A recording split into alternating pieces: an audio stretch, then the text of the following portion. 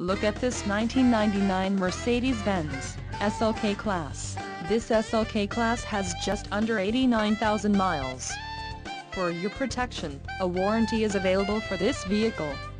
This vehicle gets an estimated 21 miles per gallon in the city, and an estimated 30 on the highway.